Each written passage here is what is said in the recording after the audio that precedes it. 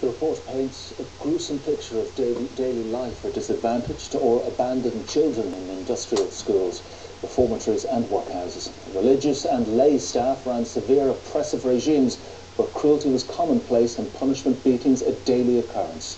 But not all children were abandoned. The abandoned. grim litany of sexual and physical abuse covers more than 100 institutions around the country. Here at the Artane Industrial School in Dublin, the Commission found sexual abuse of boys was a chronic problem. Children constantly felt under threat and fearful.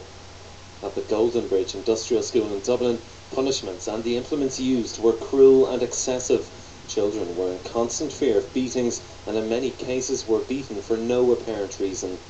The Letterfrack School in County Galway was also a centre of abuse. Here, physical punishment was severe, excessive, and pervasive. Again, sexual abuse was a chronic problem. St Conleth's Reformatory in Daingean, County Offaly, was described as an anarchic institution. The physical abuse of boys in Daingean was extreme, says the report. Children were brutalised by the experience. This huge investigation has its roots in the abuse suffered by Christine Buckley and other children here at the site of the former St Vincent's Industrial School in Dublin's Goldenbridge. Christine Buckley first went public with her story in 1992, setting in motion a long series of events. More cases came to light, and in May 1999, Ben Taoiseach Bertie Ahern apologised on behalf of the state and set up the Commission of Inquiry. Twas What me the government demoted. has decided on today is not a break with the past, it is a facing up to the past and all that this involves. This may well, this may well help to be a painful process, but it cannot and should not be avoided. Also in May, Ms Justice Mary Laffoy was appointed to head up the inquiry. In October 2000, the government agreed to compensate victims of institutional child abuse.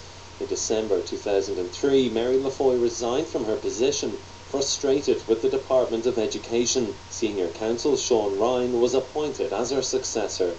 In May 2004, the Sisters of Mercy apologised to those who suffered abuse while resident in their institutions. And in June of that year, the Christian Brothers dropped their legal actions against the Commission, which goes on to hear from more than 2,000 witnesses before producing today's final report. This afternoon, the first reactions to the report were issued to the media. The Christian Brothers apologised openly and unreservedly to those hurt by what it called the deplorable actions of some brothers. Another apology came from the Oblate of Mary Immaculate, who ran the school in Daingean. And Education Minister Batt O'Keeffe extended his sympathy to those who suffered and promised that government will carefully study the findings of the report. Stephen Murphy, TV3 News.